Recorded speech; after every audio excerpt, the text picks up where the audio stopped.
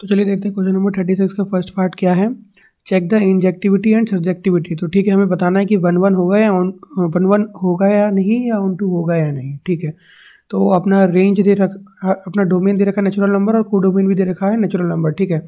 और फ़ंक्शन दे रखा है F X is equals to three X तो चलो पहले इंजेक्टिव के लिए चेक कर लेते हैं। इंजेक्टिव का मतलब आप लोग को पता होगा ऑन टू नहीं वन वन होता है, ठीक है? वन वन इंजेक्टिव और वन वन सेम होती है।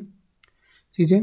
तो अगर मैं F X one is equals to F X two रखता हूँ और अगर मेरा X one equals to X two आ जाए तो वो मेरा वन वन होगा। तो पुट करते हैं एफ़ एक्स क्या है? थ्री एक्स तो यहाँ क्या हो जाएगा? Three X one is equals to three X two देखो थ्री से थ्री कट गया, अपना क्या आ गया? X one equals to X two यही हमको चाहिए था। इट मीन्स ये इंजेक्टिव है। ठीक है? इंजेक्टिव है। और अगर बात करें सब्जेक्टिव सब्जेक्टिव मतलब कि ऑन टू तो ऑन टू के लिए देखते हैं।